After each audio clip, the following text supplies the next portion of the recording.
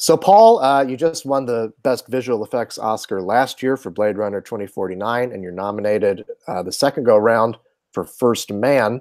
Um, you know, creating something, uh, recreating, I should say, something that is, you know, a fact as opposed to creating visual effects that are more fantastical, more imaginative, I guess.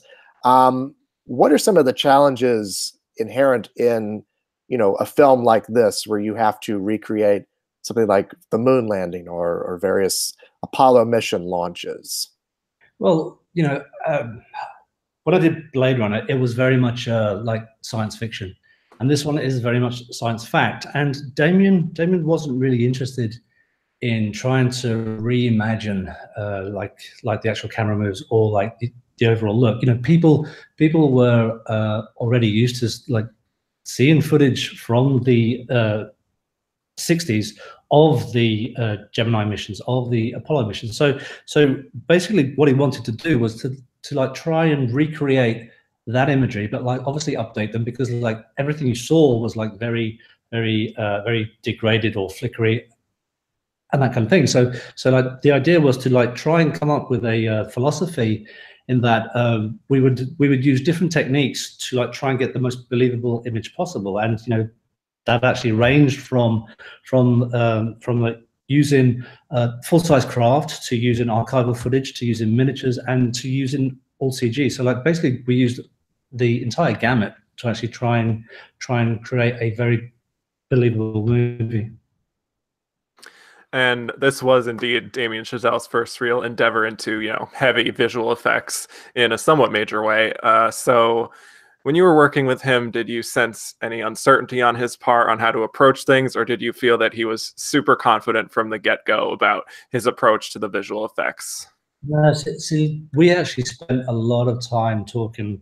Like, a, uh, as soon as I finished Blade Runner, like, a, uh, I joined the show, and we spent about three and a half months actually in Atlanta doing prep and like we like we would have constant meetings every day with like uh, JD, with uh, who was the special effects uh, supervisor, with Nathan Crowley, who was the uh, art director, and with Linus, who was the DOP. And like we we basically brainstormed as to as to how we were going to make uh, this movie. And you know, Damien was very, very, very adamant that like he didn't want the visual effects to like take you out of the movie. Like, you know, he wasn't really interested in doing any blue screen or green screen. You know, like he always wanted to find a set. You know, like he always wanted to to like ground all the photography in something real. And what that meant was that, like, you know, like for example, um, even though even though this particular scene didn't make it to the movie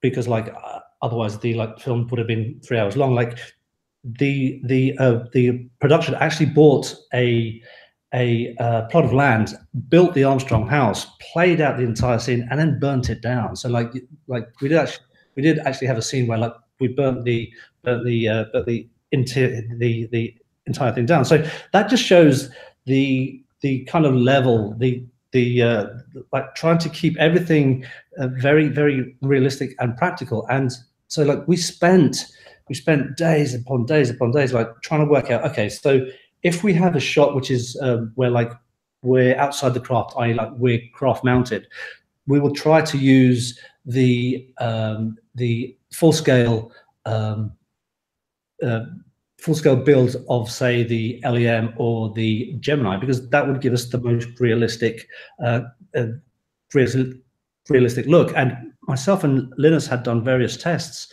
in uh, in Atlanta and LA of uh, trying to put computer generated imagery onto an LED screen and shooting that with uh, the uh, production film cameras because this was this was going to be a film shot on 16 millimeter and 35 millimeter and also IMAX, and uh, and and so like we did various testing of like trying to okay how are we going to implement CG in this movie? And we produced a lot of computer graphics for this movie except that we what we did, rather than trying to add it all in post, we actually turned things on its head, and we we spent a lot of time in pre-production and and during the shoot actually creating computer generated imagery to go on this screen. So like we kind of turned things around. Like we spent all of our post shot money prior to like produce the content on the screen. And what that gave us was was like because that screen was being shot through the film camera, that those computer graphics were going through the film camera. It was going through the optics of the film camera. So so like you instantly got like a film patina. You got an overall filmic look to the dailies without having to then do composites. Yes, there were there were there were definitely some technical issues in which like we had to update uh, certain backgrounds because of resolution or like we would see the gimbal in there or there would be a stray light you know that kind of update rather than like completely changing the background and and and specifically not doing it green screen or blue screen because one thing which you do gain from having the actual content is that you get all the interactive light, you get all the reflections. You can't get that from a green screen. You get green spill, which you then remove and put on the background. And you know, there's a very simple uh, philosophy behind a, behind a green screen. If you shoot a green screen like at a certain intensity behind you, and you change that background, and and that background is brighter or darker, you're always going to have an issue trying to make that image believable because like you've just changed the fundamental um, nature of the edges and the background behind you. Whereas if you've got the content which you're doing already, which is going to be the actual background, well then you'd have you don't have any of that, and and like instantly on on your dailies you have something far more far more believable, and plus you get reflections in the eyes and you get reflections in the visors, and like you get reflections on dials inside the cabin, which which traditionally you wouldn't actually turn that over for like a visual effect shot just because there like wouldn't be the budget to do the entire sequence. So you know, it was a it did turn things upside down. We weren't really expecting to have uh, rendered that that much imagery, but we actually ended up rendering 90 minutes worth of content for that LED screen. Wow. Um, you know, all that you're talking about right now, it, it really goes along with the general aesthetic of the movie, which is this sort of gritty documentary naturalism. Um, I mean, how much did that affect your work? Yeah, so like usually in my world, like you don't want to chat, you don't want to be shaking the camera, you don't want to be zooming, zooming everything. Like, it does make tracking difficult, but you know this wasn't a very big budget movie, and like we didn't really have time to like stop for like a visual effects setup and like okay, like we need to do this in a particular way. So uh, you know techniques techniques nowadays are at such a point where like even if your camera is running around and you are zooming and and like and like you are dealing with like film shutters yes things take a little bit longer to to actually what we term track uh track these elements but like it can be done. And the fact that you're doing the shaking in the camera like basically when the uh, when when uh, ryan and the other astronauts are actually in the capsules or like the X or the X-15, we're actually shaking the entire, whether it's the X-15 or or the or the um, or the um, like, we're actually shaking the gimbal. So they they would spend the entire day being shook. And what that gives you, rather than doing that in post, I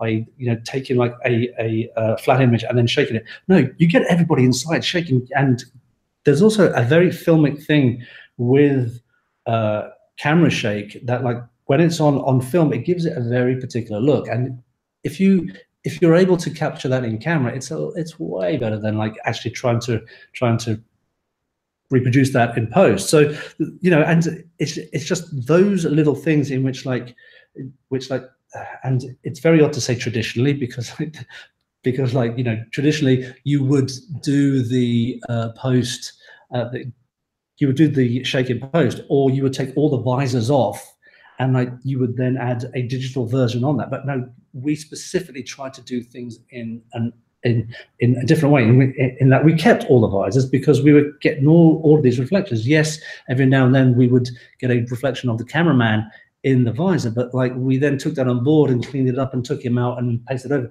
rather than doing a full on um, a, a, like a full on uh, replication of what the reflection was would have been because like all the textural detail in the glass and in the and in the uh, and in the visor is sometimes is lost when you try to when you try to recreate it it's it's good but you never really truly get back to what you had originally um, and looking back over your career, you've gone back and forth between heavy sci-fi fantasy films like, you know, Harry Potter series, Tron Legacy, Blade Runner 2049, of course. And those are definitely more, uh, you know, very fantastical. And now this First Man, Gone Girl, very much more realistic, real world, grounded things. Um, and so I just wanted to know if there were specific challenges when it comes to creating effects for these kinds of realistic films that you don't necessarily find with some of the sci fi projects you've worked on.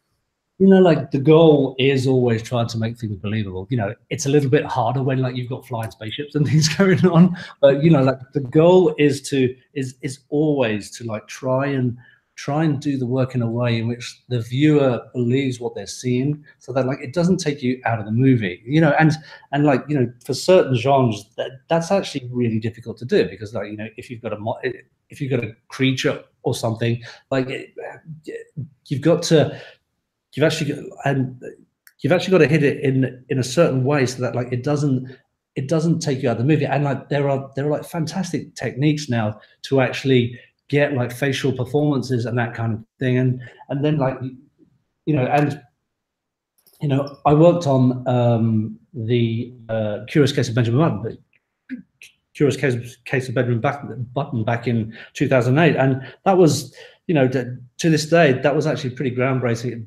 breaking in like the actual facial captures and like the actual way in which we did that because some of those techniques are actually still still uh still still valid today. So, you know, and for me, and I think, I think, I think for like every visual, visual, uh, visual effects person is always to try and make something believable, so that like the audience doesn't doesn't suddenly uh, is, is, is like taken out of the, the movie. And Damien was very, very, very adamant about this with with like all of our effects. And when I pitched him the the uh, the uh, use of archival, he was he was again he was he, he, he was very firm in that at no point can uh, the audience believe that like we are using ar- archival footage because it will just take them out so you know it's it, he added an additional pressure but like it was something which like you always try and try and strive for whether like you get that always get that time or not is is is a different thing but you try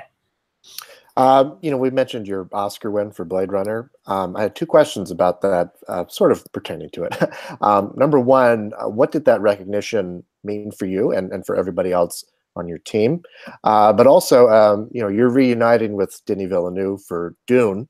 Um, I'm sure that you're you have to be incredibly tight-lipped and sworn to secrecy, just like on Blade Runner 2049. But can you give us a, an idea of you know how that's going? I, I yes, I can't really talk about Dune. I figured, but you know, you got to ask. So I can't really talk about it, otherwise I'll probably not be on it anymore. But uh, working, you know, working with Denis during uh, it was it was uh, such a fantastic experience. You know, like working with these visionary directors, like you know, like uh, like uh, Denis and and and uh, Damien have got. Uh, have have the entire movie in their heads and you know when you talk to them about about about like certain things which you're working on and you like you don't realize okay this is why you're the director because like basically you see all the aspects of it it's it's it's it's it's truly inspiring well before i let you go let me just ask you one more thing uh, you know pertaining to that when you see this film put together, um, you know, in IMAX and all of that stuff. I mean, um, you know, what did you think the first time when you saw it completed? I, uh, I love this movie. You know, I like uh, when we were when we were just finishing the movie out in the, uh, out, out in the desert in California for the end of the X15 sequence. Damien had been uh, Damien and Tom uh, Tom Cross, the editor, had been putting together like a montage of uh, of like uh, all the sequences in which we had made, and um, and like towards towards towards the end of the movie, like uh, things were things were very tiring, and that like we were all working very hard, like six seven days a week, you know, and finishing finishing quite late. And basically, when we wrapped Ryan, we, uh, uh, they brought out like this uh, this uh, big TV screen and played back played back this this uh, this uh, montage, and it was truly moving. Like because you could see that, like okay, you had created you had created something special, and when I saw it for the first time in IMAX, and and like you're going through all the different stages of of like uh, of like those those uh, those uh, years for uh, for for Neil, and then like you, you know you're going through this documentary style, shaking camera, zooming in, zooming out, and then like you come out into space, and like you come out onto the moon, and the frame opens up, and and it's such a different feeling, and the music as well. You know, every aspect of this movie I love. You know, I, I was it was it was uh, truly truly truly a fantastic experience, and it was a it, it was a quick turnaround. Like you know, I I actually started the end of Blade Runner, which was uh, well, I guess uh, August, uh, end of August, something like that, and and then like you know I was on it for like another, I guess, year and a half before it came out. So so you know it, it was a quick turnaround. It was a fast, highly uh, you know a lot of pressure, but it was a fantastic experience, absolutely fantastic. Well, it's a great movie. Uh, Paul, thank you so much. I know it's late in Budapest where you are right now. So uh, thank you so much for making some time out of your busy work uh, and, um, you know, to talk with us. Appreciate it. Thank you so much for having me. Thank you.